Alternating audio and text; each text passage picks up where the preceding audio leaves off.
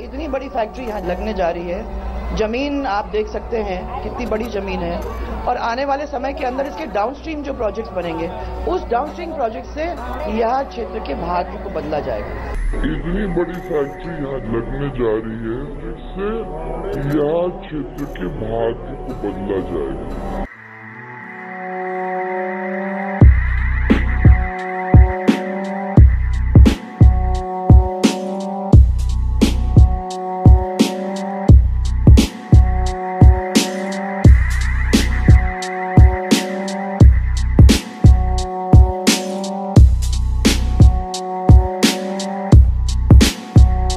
वसुंधरा राजे ने जो काम किया, मेरी नज़र में तो बिल्कुल नथिंग नगण्य, ज़ीरो उनके कार्यकाल रहा। विकास के नाम पे बिल्कुल ज़ीरो, भ्रष्टाचार के नाम पे सबसे आगे।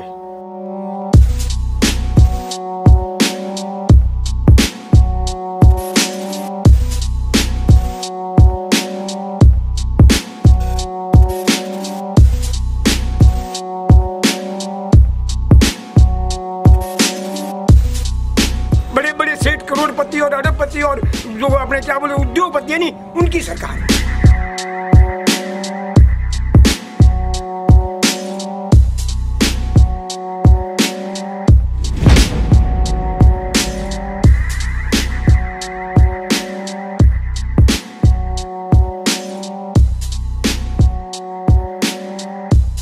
वसुंधरा जी, अपना चुनावी घोषणा पत्र पढ़कर सुना दे एक बार, जो उन्होंने 2013 में चुनाव लड़ा था।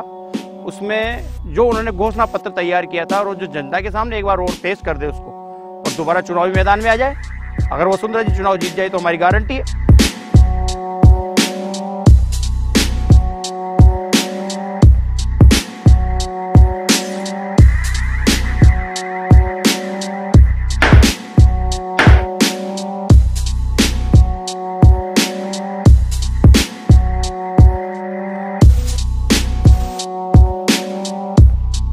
हमने करीबन छह बिंदुओं का एक घोषणा पत्र बनाया था। उसमें से मुझे खुशी है आपको ये बताते हुए कि 81 परसेंट का काम हमने पूरा किया। 665 बिंदु में से 630 बिंदुओं पर या तो कंप्लीशन हो गया है या कार्रवाई चल रही है। जो हमको डिटेल्स में अगर जाते हैं तो देता है 95 परसेंट कम्प्लीशन जो हमको डिटेल्स में अगर जाते हैं तो देता है 95 परसेंट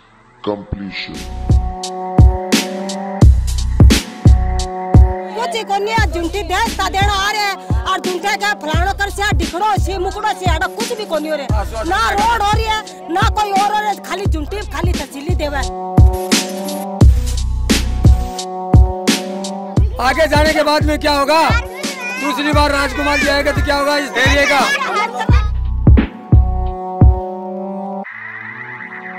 यहाँ की सरकार निकम्मी है ऐसा बोल रही है। राजस्थान की जनता आज की तारीख में कांग्रेस के साथ है।